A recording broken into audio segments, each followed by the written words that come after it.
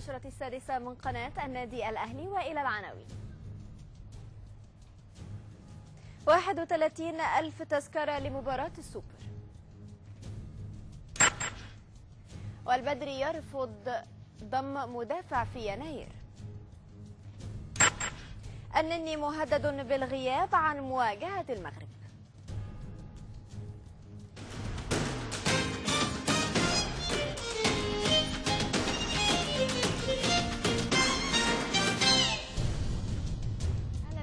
مجددا وإلى التفاصيل. استقرت اللجنة المنظمة لكأس السوبر الإماراتي على طباعة 31 ألف تذكرة لمباراة الأهلي والزمالك والمقرر لها يوم 10 فبراير المقبل بالعاصمة الإماراتية أبو ظبي. وأشار محمد كامل رئيس شركة Presentation الراعية لاتحاد الكورة أن المباراة ستضام بموعدها ستقام عفوا بموعدها ولن تتأجل في حال تأهل منتخب مصر لنهائي كأس الأمم الأفريقية بالجابون يوم 15 فبراير المقبل. وأوضح أن اللقاء السوبر سيقام بملعب محمد بن زايد سعته 41 ألف متفرج وسيتم تخصيص 7000 مقعد لرجال الأمن. وأكد أن عملية بيع التذاكر بدأت بشكل تجريبي يوم الأربعاء الماضي لافتا إلى أن هناك إقبال كبير على شراء التذاكر والتي تم طرحها بنفس أسعار العام الماضي. واختتم رئيس الشركة الراعية لاتحاد الكرة التذاكر تتراوح أسعارها بين 75 ل 1000 درهم موزعة إلى خمس فئات.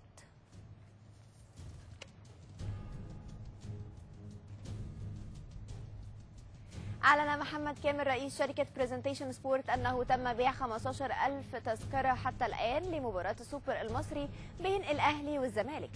ومن المقرر أن تقام المباراة يوم 10 فبراير المقبل بملعب محمد بن زايد بالعاصمة الإماراتية يوم عفوا بين بطلي الدوري والكاس ما بين الأهلي والزمالك. وقال كامل خلال المؤتمر الصحفي والذي أقيم بملعب المباراة بأبو ظبي للإعلان عن اللقاء أنه تم بيع 15 ألف تذكرة حتى الآن.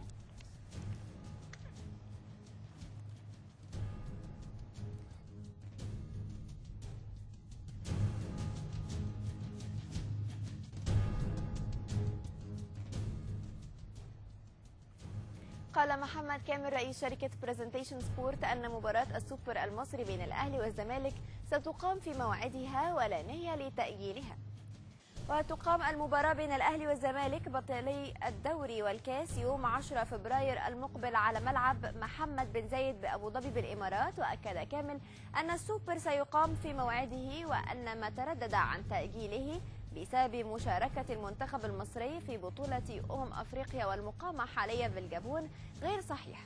وتابع رئيس شركة Presentation أن السوبر سيقام في السادسة مساء يوم 10 فبراير المقبل على استاد محمد بن زايد.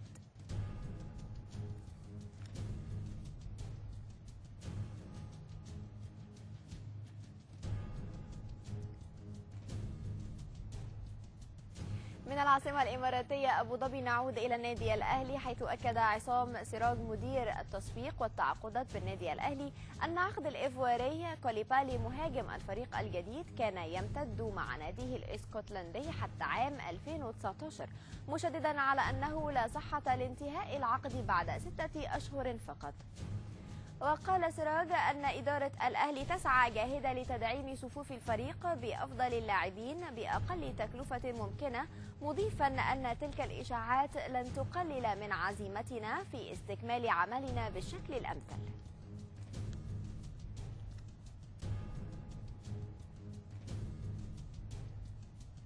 نفى مسؤولو النادي الأهلي إحالة الدكتور عصام سراج مدير التعاقدات بالنادي الأهلي للتحقيق بسبب صفقة الإيفواري سوليماني كوليبالي وضم الأهلي اللاعب الإيفواري من فريق كليمارنوك الإسكتلندي لمدة ثلاث مواسم ونصف الموسم خلال فترة الانتقالات الشتوية الحالية. وترددت أنباء عن تحويل سراج لتحقيق بسبب دفع الأهلي 750 ألف يورو لشراء كوليبالي رغم أن عقده ينتهي بنهاية الموسم الجاري وأكد مسؤولو الأهلي أنه لا نية لتحويل سراج للتحقيق خاصة أن كوليبالي عقده ممتد مع كليمر كليمارنوك الإسكتلندي حتى عام 2019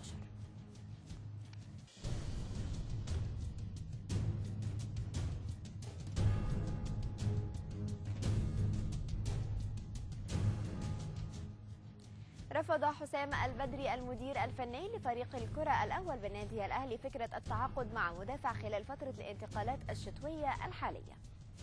وتمسك البدري بضم لاعب في الخط الهجومي لحاجة الفريق إلى دعم هذا المركز وأكد البدري لمجلس الإدارة أنه لا يحتاج للتعاقد مع مدافع الآن وأن الأولوية لضم لاعب وسط هجومي خاصة أن الأهلي يتبقى له مكان واحد فقط في القائمة بعد عودة نظام الاستبدال.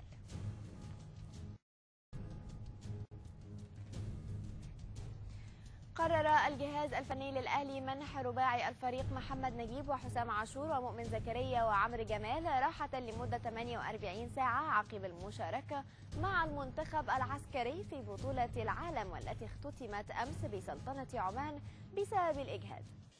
ويعود منتخب مصر العسكري من عمان مساء اليوم الأحد بعد الحصول على المركز الرابع في البطولة. ويحصل اللاعبون الأربعة على راحة بسبب الإجهاد وينتظمون بعدها في التدريبات تمهيدا للسفر مع الأهلي للإمارات لإقامة معسكر بها. استعدادا للسوبر المحلي أمام الزمالك يوم 10 فبراير المقبل بالإمارات.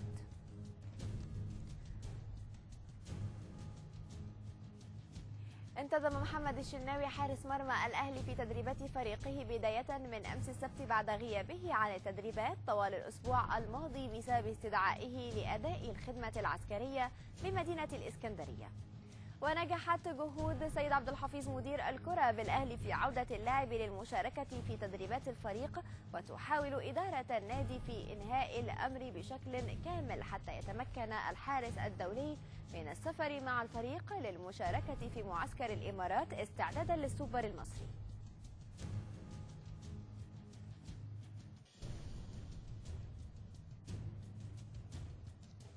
يسعد الفريق الأول لكرة الطائرة سيدات بالنادي الأهلي بقيادة الكابتن حمدي الصافي المدير الفني للفريق لخوض مباراته الأولى في بطولة كاس مصر والمقرر لها غد غدا مع فريق نادي الصيد على صالة الأخير في 6 أكتوبر.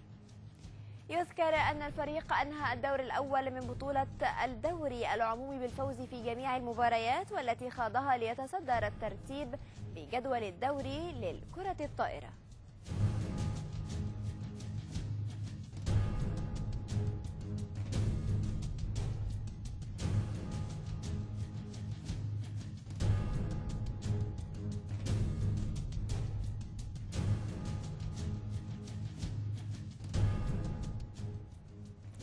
يعقد المكتب التنفيذي للنادي الأهلي برئاسة كامل زاهر أمين الصندوق اجتماعا غدا الاثنين لمناقشة العديد من الأمور المهمة وعلى رأسها تنظيم النادي الأهلي للبطولة الأفريقية للسلة رجال رقم 32 والتي تقام في أواخر شهر نوفمبر وأوائل ديسمبر 2017 كما يناقش المكتب التنفيذي تنظيم النادي الأهلي للبطولة الأفريقية للسلة سيدات والتي تقام في شهري أكتوبر ونوفمبر للعام 2017 ويناقش أيضا المكتب التنفيذي مشاركة الفريق الأول للكرة الطائرة رجال في بطولة الأفريقية والتي تقام في تونس يوم 15 ل 28 مارس من العام 2017 2017 وكذلك مشاركة فريق الكرة الطائرة سيدات في البطولة الأفريقية والتي تقام في الفترة من الرابع حتى السابع عشر من أبريل القادم في تونس.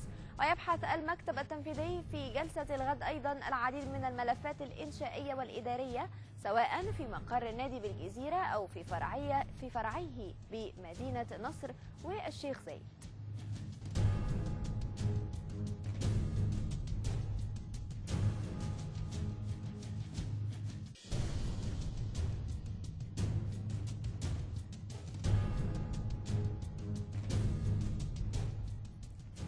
يلعب الفريق الأول لكرة السلة بالنادي الأهلي مع سموحة في المباراة التي تجري حاليا في إطار الجولة الأولى من الدورة المجمعة الثانية للدور النهائي من دوري السوبر والتي تقام على صالة الشباب والرياضة في 6 أكتوبر. وكان الأهلي قد فاز على سموحة والاتحاد وخسر من الجزيرة خلال البطولة المجمعة الأولى والتي انتهت الأسبوع الماضي والتي أقيمت بالإسكندرية.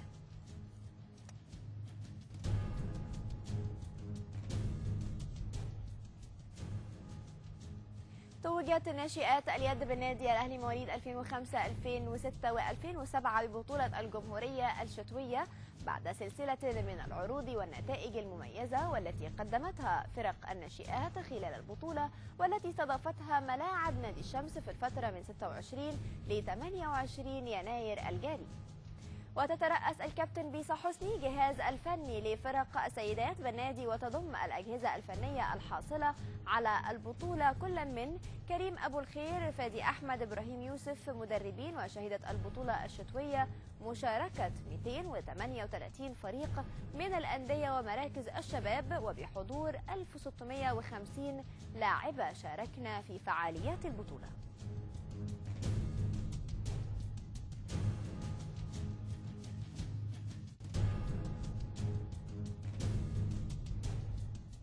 للمزيد من التفاصيل تنضم إلينا الآن عبر الهاتف الكابتن بيسا حسني. كابتن بيسا أهلا بيكي. أهلا وسهلا. كابتن بيسا في البداية ألف مبروك على البطولة. الله يبارك فيكم الله يبارك فيكم. هل كان التتويج صعب يا كابتن بيسا؟ آه والله هي بصي هي البطولة ديت طبعا من أصعب البطولات اللي إحنا بنلعبها في خلال الموسم. هي بتبقى لل... المفروض إن هي بتقسم اتنين جمهورية صيفية وجمهورية شتوية. الصيفية بتتعمل في اسكندرية والجمهورية الشتوية بتتعمل في القاهرة. السنة دي نادي الشمس استضافها. إحنا طبعا على طول كنا بنستضيفها عندنا بس طبعا عشان الملاعب انت أكيد عارفة إحنا فيها تجديدات وكده فمش ما قامتش عندنا.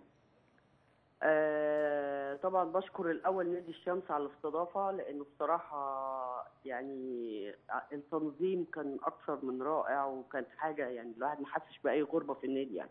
ناس محترمة جدا وعاملين بطولة من الناحية التنظيمية عالية جدا وطبعا بشكرهم. آه بالنسبة للفرق بتاعتنا 2005 و2006 و2007 إحنا اشتركنا في البطولة الصيفية الجمهورية في شهر 8 اللي فات. كسبنا برضو أخدنا أول في 2007 وخدنا أول في 2006 وخدنا تاني في 2000 و... لا خدنا آه تاني في 2006 وأول في 2005 و2007 فطبعا كانت البطولة دي من ناحية ال... ال... هي بطولة مجهدة شوية مجهدة لكل الناس يعني بالنسبة للاعبات وبالنسبة للجهاز الفني. بالنسبة للج... لل... لأولياء الأمور لأن هي بطولة بتقام في ثلاث أيام. فبيبقى عليها ضغط عصبي عالي جدا و... وحمل عالي جدا على اللاعبات وعلى اللعيبة كمان. ما هو الأولاد دلوقتي مشتركين النهارده بدأوا. فهي من البطولات اللي بتبقى بالنسبة لنا صعبة جدا في خلال السنة. آه للمجهود الفظيع اللي فيها طبعا. لأن انت بتلعبي إحنا بنلعب ست يعني مثلا إحنا بنلعب 135 مباراة. ثلاث فرق لعبوا 135 مباراة. 2007 اشترك في البطولة 16 فريق. لعبنا 54 مباراة. 2006 اشترك 26 فريق. لعبنا 84 مباراة. 2005 اشترك 14 فريق لعبنا 45 مباراة. هي متعبة بقى في إيه؟ حضرتك. هي متعبة في إن انت كل يوم بيوصلك لليوم اللي بعده. لأن هي بتبقى يعني بنظام مثلا أول يوم انت انت لازم بياخدوا أول المجاميع. لو خسرتي ماتش واحد انت بتطلعي تلعبي على مراكز متأخرة خلاص. فكل يوم لازم تكسبي عشان تلعبي اليوم اللي بعده في توصلي لحاجة أعلى. لغاية ما بنوصل آخر يوم المربع بيبقى بقى بنلعبه زي دوري مجمع. يعني دوري من دور واحد كل الفرق تاني بتلعب الأربع فرق اللي طلعوا النهائي. والحمد لله طبعا ربنا بيوفقنا بس طبعا أنت عارفة هي بتبقى عملية متعبة جدا لأن إحنا بنلعب أكتر من ماتش في نفس اليوم. ولكن بالرغم من صعوبة العملية إلا أن نادي الأهلي كابتن بيسا ومن الواضح جدا إن هو بيكلل التعب ده في الآخر بنجاح وبفوز. طب كابتن بيسا إيه استعدادات فرق السيدات للبطولات القادمة؟ والله بصي إحنا بس أنا يعني أنا كنت طبعا الفترة ديت مركزة جدا في في البطولة ديت لأنها بطولة مهمة جدا بالنسبة للبنات عندنا والناشئات آه، لكن كل الفرق التانية شغالة وكل الفرق التانية بتتمرن. إحنا لسه عندنا بطولات كتير في الملعب. إحنا آه، الحمد لله غير الثلاث بطولات دول إحنا كنا واخدين تسع بطولات أول. البطولات اللي خلصت و... و... والثلاثه دول يبقى إحنا كده إحنا الحمد لله اخذنا 12 بطولة أول السنة دي بالنسبة للقطاع لل... لقطاع السيدات كله في النادي مش الناشئات بس والكبار كمان. آه في بطولات طبعا لسه موجودة في الملعب آه لسه ما خلصتش. فالنهاردة يعني إحنا نبتدي بقى تاني نرجع لل... للبطولات اللي لسه موجودة ونبتدي نشتغل تاني مع ال... مش نبتدي نشتغل هم شغالين يعني. إحنا ما وقفناش يعني. بس طبعا كان كل التركيز اللي فات طبعا آه على البطولة ديت إن إحنا لأن هي كانت مهمة إن إحنا طبعا برضو نفضل آه، مركزين فيها إن إحنا نبقى أول فيها. والحمد لله آه، ربنا كرمنا. وطبعا آه، أنا معايا جهاز جميل جدا وناس يعني أنتوا أنتوا قلتوا أسامي ال- المدربين الفرق بس بس بصراحة إحنا الثلاث أيام أنا كان معايا الجهاز كله كل الناس كانت موجودة كابتن محمد راضي آه، كابتن أيمن كل مدربين الفرق كابتن آه، محمد آه، محمد أحمد حسن كل الف... كل الجهاز كان موجود في الثلاث أيام معايا لأن إحنا طبعا كل الفرق بتلعب على كل فرقه بتلعب في مكان وبتلعب في ملعب مختلف. فإحنا بنخلص الماتش ده بنجري على الماتش اللي بعده بنجري على الملعب التاني عشان الفرقة التانية بيبقى عندها مباراة. فطبعا لازم كلنا بنبقى موجودين وده مجهود الناس كلها مش مجهود آه، نفر خالص. ما يعني مجهود مجهود آه، جماعي. جماعي. بالظبط. طيب كابتن بيسا واحد. نعم. عينيا. كابتن بيسا آه، الهدف اللي النهارده بيسعى إليه جهاز كرة اليد في النادي الأهلي الموسم ده. لو قلت لك إيه الطموح اللي النهارده بتتمني انت وفريق اللي- موجود معاكي واللي سميتيهم واللي أكيد مننا يعني كل الشكر وتمنياتنا ليهم بالتوفيق دايما إيه الهدف اللي تحبي توصلي له معاهم في نهاية الموسم؟ والله بص هو هدف شغلنا يعني أنا من بشتغل من 27 سنة في النادي.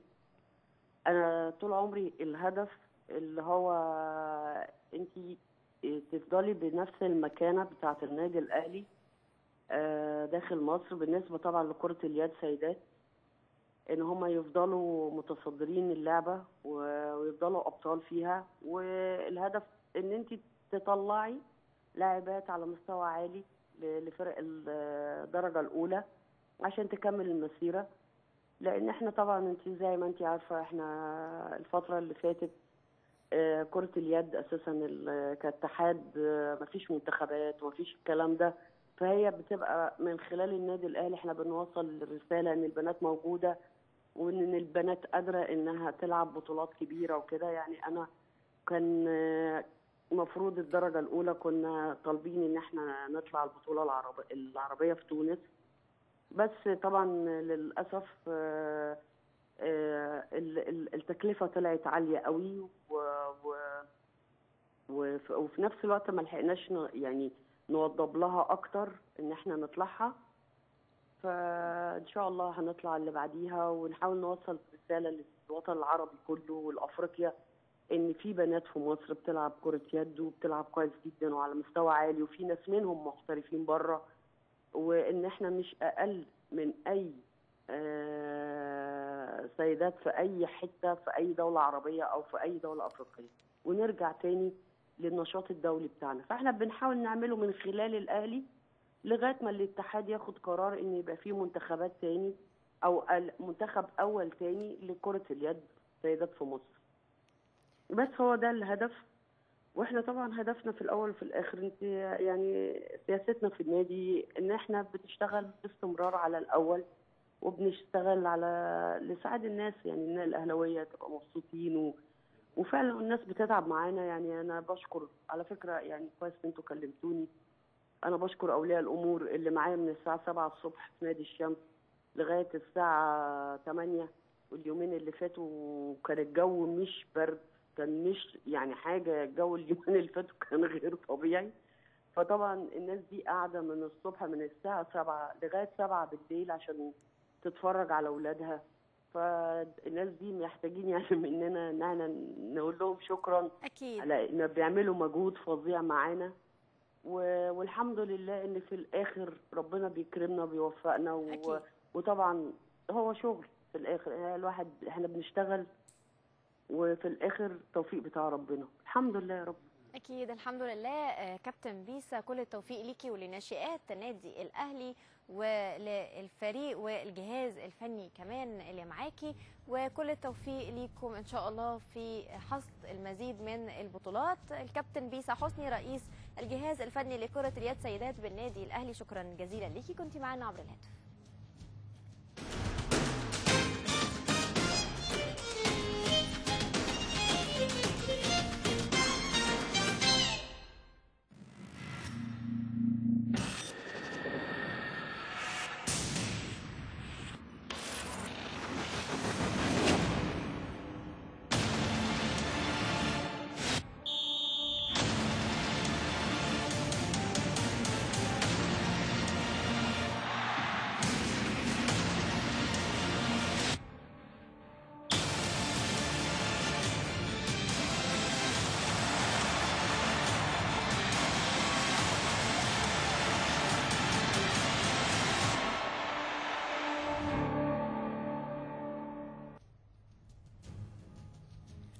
أكيد كلنا هنشجع مصر. ونطير إلى الجابون حيث أكد هاني أبو ريدة رئيس الاتحاد المصري لكرة القدم أن مباراة المنتخب المصري أمام نظيره المغربي اليوم الأحد هي أهم مباراة في مشوار منتخب الفراعنة ببطولة كأس الأمم الأفريقية للعام 2017 بالجابون. وقال أبو ريدة خلال الجلسة والتي عقدها مع لاعبي المنتخب بالأمس أن المباراة تعتبر بطولة خاصة وهي أهم مباراة في المسابقة مشيرا إلى أن المنتخب المغربي قوي ومنظم للغاية. وأشار أبو ريدة إلى أن ظروف مباراة اليوم أفضل بالنسبة للمنتخب المصري موضحا أن الفراعنة تعودوا على أرضية ملعب بورجنتل والذي يستضيف اللقاء على عكس المنتخب المغربي والذي تنقل من مدينة أويام إلى بورجنتل كما أنه سيلعب لأول مرة على استاد بورجنتل.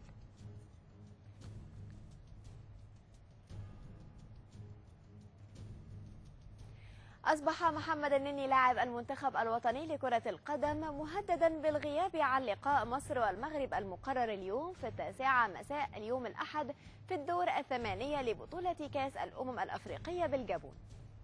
واشتكى النني من إجهاد عضلي قبل لقاء المرتقب أمام المغرب وقدم اعتذارا للجهاز الفني لعدم قدرته على المشاركة في المباراة. وتعرض النني لانتقادات حادة بسبب أدائه المتواضع مع منتخب مصر في لقاءات الدور الأول لبطولة كأس الأمم الأفريقية.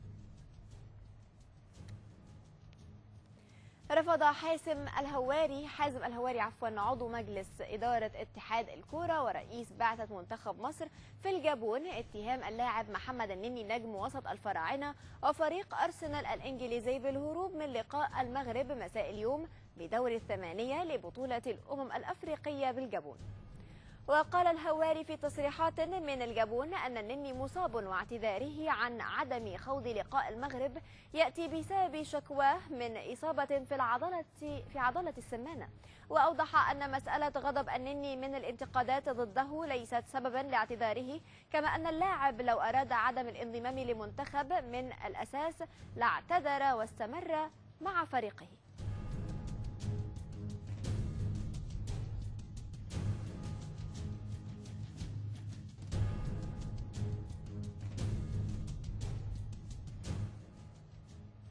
للمزيد من التفاصيل عن غياب النني اليوم وآخر تحضيرات الفراعنة للمواجهة المرتقبة. مساء اليوم أمام المغرب ينضم إلينا عبر الهاتف من الجابون الناقد الرياضي الأستاذ أحمد عبد الباسط. أستاذ أحمد أهلا بيك. فيروز برحب بيكي وبرحب بكل مشاهدي قناة النادي الأهلي. أستاذ أحمد إيه حقيقة غياب النني النهارده؟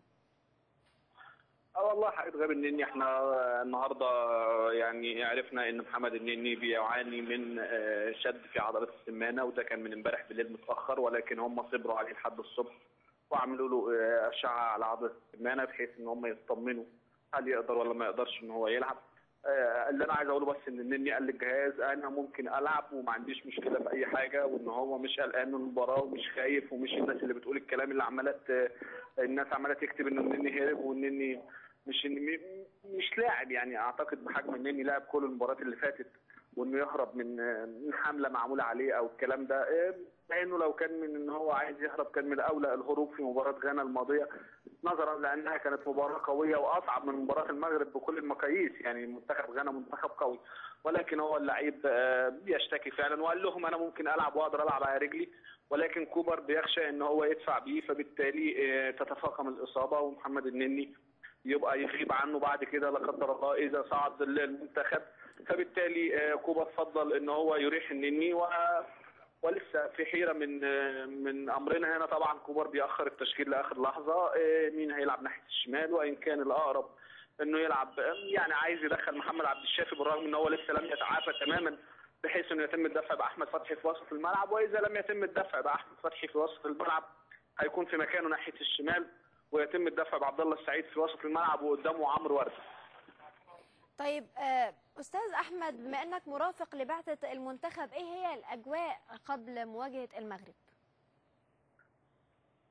طبعا المنتخب المصري مركز جدا للمباراة ويعني زي كل مباراة قبل كده آه، ولكن الأجواء مشتعله عند المنتخب المغربي. الجالية المغربية هنا كبيره جدا.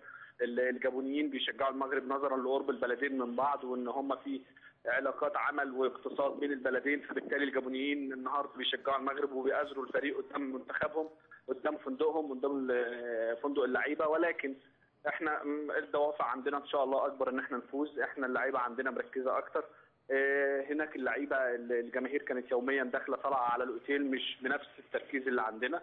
نتمنى إن المباراة تخرج بالشكل اللائق ولكن آه، من الناحية الفنية المباراة صعبة لأن آه، هيرفي رينارد المدير الفني للمنتخب المغربي راجل عنده خبرة واخد آخر بطولتين مع كوت ديفوار مع زامبيا فبالتالي آه، كوبر بيواجه النهارده مدرب عنيد ومدرب شرس يقدر إن هو يتعامل مع المباراة زي ما شفنا ألان جيريس اتعامل مع المنتخب المالي في المباراة الأولى لما تعادل مع مصر. أعتقد إن الفريقين بيلعبوا نواحي دفاعية بحتة فبالتالي ده اللي هيمثل صعوبة فنية للمباراة النهارده. طيب أستاذ أحمد هل وضحت خطة آه، مستر كوبر الآن بخصوص الف... ال- ال- الفريق اللي هي... هيخوض بيه مواجهة المغرب ولا حتى الآن آه، مفيش أي أخبار عن التشكيل؟ بس الخطة آه، الموضوع هي 4 2 3 1 وهيلعب آه، يعني أنا أقول لك 10 لعيبة من التشكيل يعني 10 لعيبة أساسيين هيبقى عصام الحضري وأحمد المحمدي وعلي جبر وأحمد حجازي وأحمد فتحي وطارق حامد وعبد الله السعيد ومحمد صلاح وتريزيجيه ومروان محسن. يتبقى البديل الوحيد فقط لمحمد النني وهو ده اللي عامل آه، يعني حيرة آه، شوية. وإن كان الأقرب إنه ممكن يدفع بعبد الشافي أو كريم حافظ ناحية الشمال ويدخل أحمد فتحي منتصف الملعب. ولكن مش عايزين إن إحنا نقول تكهنات لأن التشكيل خلاص هيطلع بعد دقايق يعني. طيب آه، أستاذ أحمد في رأيك هل هيكون في أي مكافآت من اتحاد الكورة للاعبين في حالة تخطي مواجهة المغرب؟ شوفي هو في لائحة بيتم تطبيقها للعيبة في كل مباراة ولكن اللائحة دي مش مهمة. الأهم اللعيبة كمان نفسها مش مركزة في المكافآت. كل اللعيبة بتركز في إن هي تكسب وتاخد البطولة. ولكن كنت بتكلم مع الكابتن حازم الهواري عضو مجلس اداره اتحاد الكرة وأكد ان وأكد إن هو آه، في مكافآت خاصة لو المنتخب صعد. طيب أستاذ أحمد سؤال أخير آه، في حال آه، الفوز النهارده هل سنخوض مواجهة آه، نصف النهائي في مدينة بورت جنتل أيضا؟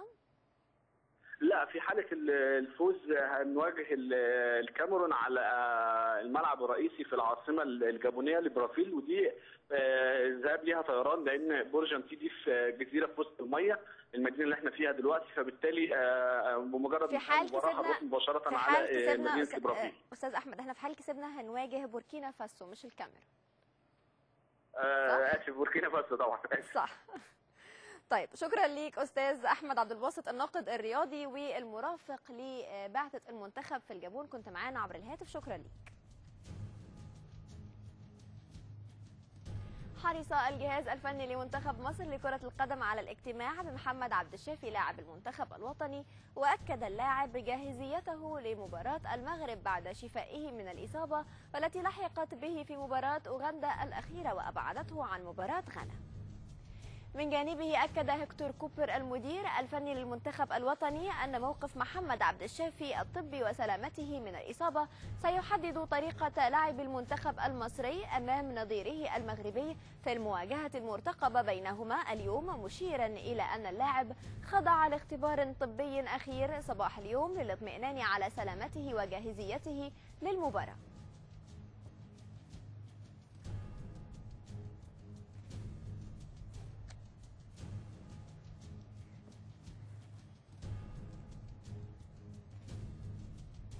أصدرت رابطة المدربين بالمغرب بيانا ناريا استنكرت من خلاله تصريحات بادو الزاكي المدرب السابق للمنتخب المغربي والتي قللت من شأن واختيارات هيرفي رينارد المدرب الحالي لأسود الأطلس. وأكد البيان أن التصريحات الإعلامية الأخيرة للزاكي غير مبررة وليست مقبولة كما أنها جاءت في وقت حساس جدا قد يؤثر على توازن المنتخب ويقلل تركيزه في أمم أفريقيا والمقامة حاليا بالجابون.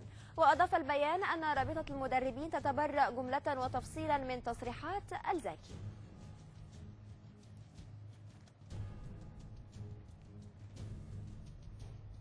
حملت الصحف التونسية الصادرة اليوم الأحد المدرب البولندي هنري كاسبرزاك مسؤولية خروج المنتخب التونسي من دور الثمانية ببطولة كأس أمم أفريقيا لكرة القدم والمقامة بالجابون أمس السبت. وخسرت تونس 2-0 أمام بوركينا فاسو ليستمر فشلها في تجاوز دور الثمانية للبطولة منذ تتويجها باللقب الوحيد على أرضها في 2004 وفي عنوانها قالت صحيفة الشروق اليومية هزمنا كاسبرزاك مشيرة إلى أن اختياراته أطاحت بأحلام منتخب تونس في فك عقدة دور الثمانية والتي تطارده منذ عام 2004 وقالت الصحيفة مسؤولية المدرب هنري كاسبرزاك كانت واضحة في الفشل لأنه أدخل عديد من التغييرات على التشكيلة والتي قدمت أداء ممتاز في اللقاءات السابقة حتى عند الخسارة أمام السنغال في الجولة الافتتاحية بالدور الأول.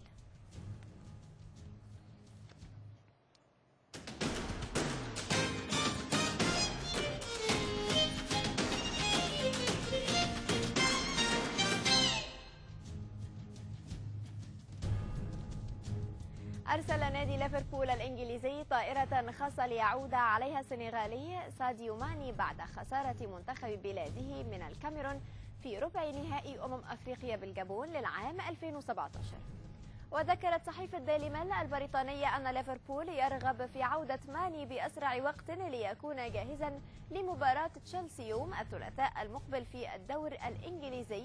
وأوضحت الصحيفة أن الريدز عانى في غياب ماني بعد خسارته لثلاثة مباريات متتالية على ملعبه أنفيلد وخروجه من بطولته عفوا من بطولتي كأس رابطة الأندية الإنجليزية وكأس الاتحاد.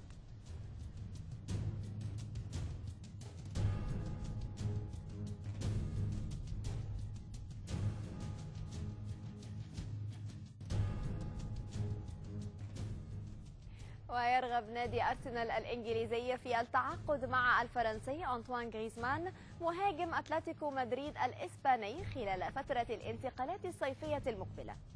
وتسعى العديد من الأندية للحصول على خدمات غريزمان بداية من الصيف المقبل أبرزها مانشستر يونايتد الإنجليزي.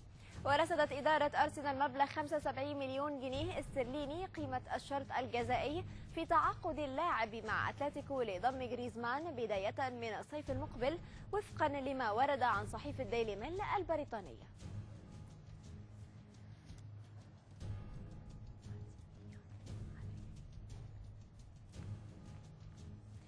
تشهد غرف ملابس ريال مدريد الأسباني حالة من الغضب بسبب الفرنسي كريم بنزيما مهاجم الفريق والذي يتمتع بحماية خاصة من فلورنتينو بيريز رئيس النادي ومواطنه زين الدين زيدان المدير الفني للفريق.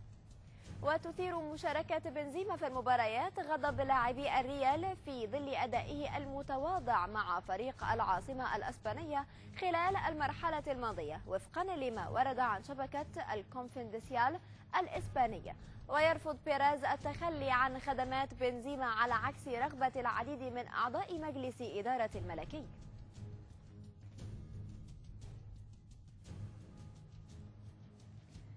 وصل ماسيميليانو أليجري المدير الفني للفريق الأول لكرة القدم بنادي يوفنتوس الإيطالي لمراحل متقدمة في المفاوضات مع نادي أرسنال الإنجليزي لخلافة أرسين فينجر في تدريب الفريق بداية من الصيف المقبل. أليجري بدأ بالنظر للخيارات الأخرى بعد أزماته مع لاعبي اليوفي عقب خسارة كأس السوبر الإيطالي أمام ميلان وفقا لما ورد عن صحيفة ديلي إكسبريس البريطانية. ويملك أرسنال خيارا آخر تحسبا لفشل المفاوضات مع أليجري وهو رولف المدير الفني للايبزج الألماني لكن يبقى أليجري خيارا أولا لخلافة أرسين فينجر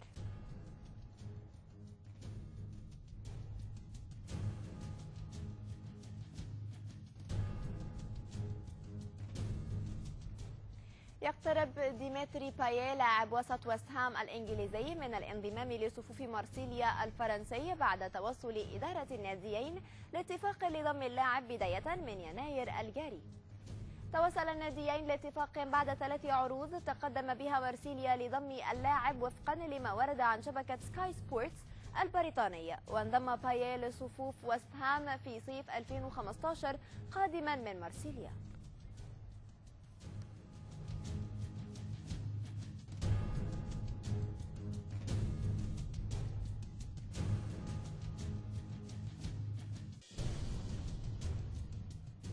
أعلن نادي ماينز الألماني ضم اللاعب بويان كيركيتش مهاجم ستوك سيتي على سبيل الإعارة لنهاية الموسم. ومن المنتظر أن يرتدي اللاعب القميص رقم 10 مع فريقه الجديد وأبدى بويان سعادته بالانضمام لصفوف ماينز. قائلا سعيد بالانضمام لصفوف فريق عريق مثل ماينز وأتمنى أن أكون عند حسن ظن الجميع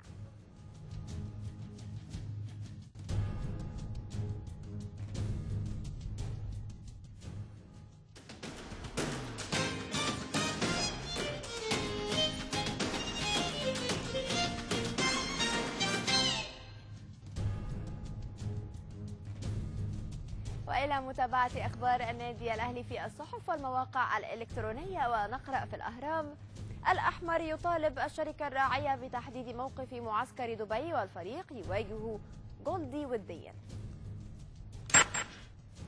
ومن المصري اليوم إكرامي يتفوق على الحضري في تدريبات ضربات الجزاء.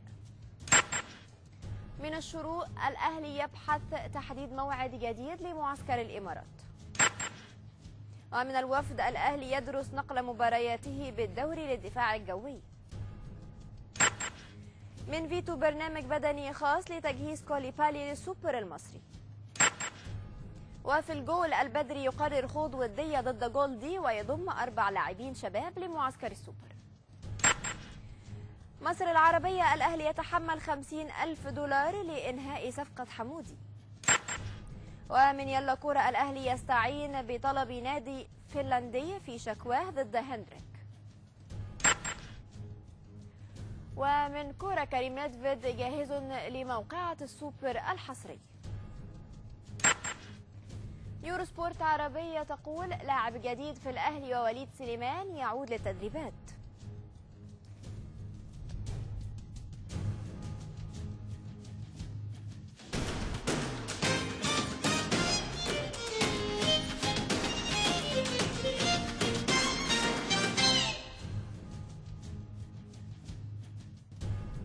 والى استعراض عفوا تفاعل لاعبي النادي الأهلي على السوشيال ميديا. نشرت الصفحة الرسمية للنادي الأهلي على موقع التواصل الاجتماعي فيسبوك صورا للتدريبات تدريبات الفريق والتي جرت أمس على ملعب الدفاع الجوي. وظهر على اللاعبين خلال تدريبات التفاؤل والتركيز قبل مباراة السوبر أمام الزمالك والمقررة في أبو ظبي 10 فبراير المقبل.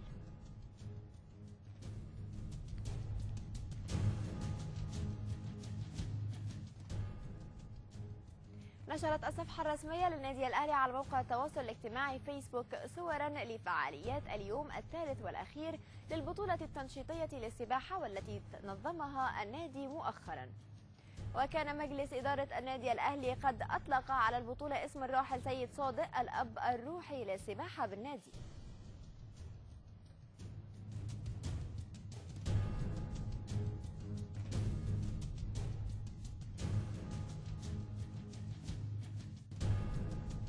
تصدر هاشتاج شجع مصر قائمة موقع تدوينات القصيرة تويتر قبل اللقاء المرتقب بين المنتخب المصري ونظيره المغربي في ربع نهائي كأس الأمم الأفريقية.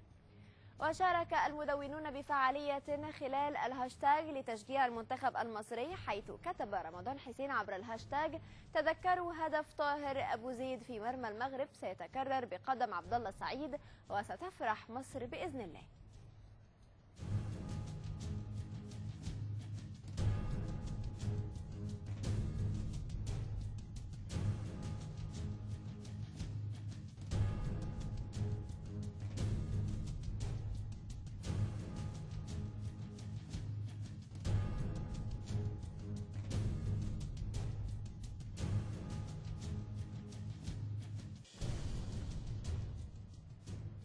نشر المهندس خالد عبد العزيز صورة عبر حسابه الشخصي على موقع التواصل الاجتماعي فيسبوك لإحدى شاشات العرض بنادي أصحاب الجياد بالإسكندرية والتي تعرض مباريات المنتخب الوطني ببطولة كأس الأمم الأفريقية في إطار مبادرة من حقك أن تشاهد.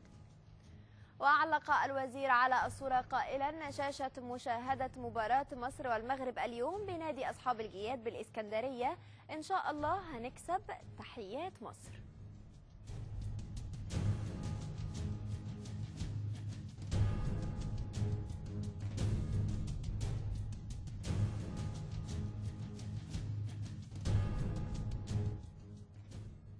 تحيا مصر. اهتمت الصفحة الرسمية للنادي ريال مدريد الأسباني بالتعليق على موقع التواصل الاجتماعي فيسبوك على مباراة مصر والمغرب والمقرر لها التاسعة مساء اليوم بالجابون. وقالت الصفحة حظ سعيد لمشجعي الريال مدريد في مصر والمغرب.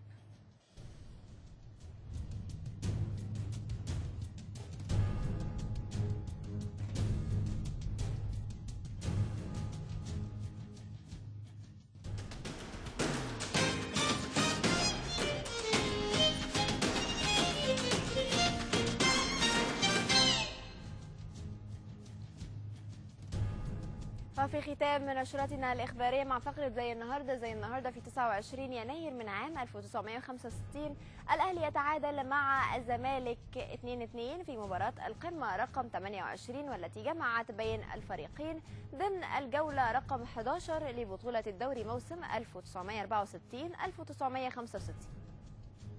وتقدم حمادة عفوا وتقدم حمادة إمام للزمالك في الدقيقة 12 وتعادل رفعت الفناجيلي للأهلي في الدقيقة 38 ومع بداية الشوط الثاني تقدم محمود السايس للأهلي وأدرك السوداني عمر النور في الدقيقة 52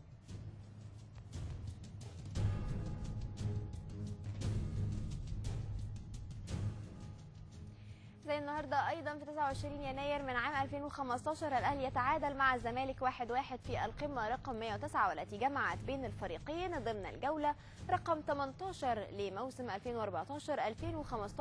على ملعب الدفاع الجوي.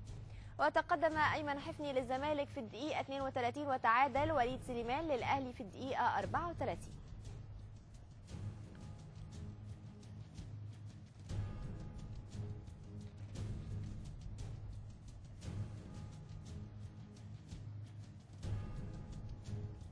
إلى هنا تنتهي نشرة أخبار قناة النادي الأهلي. إلى أن نلقاكم من جديد نتمنى كل الفوز والتوفيق لمنتخب مصر في مواجهة المغرب النهاردة. شجع مصر.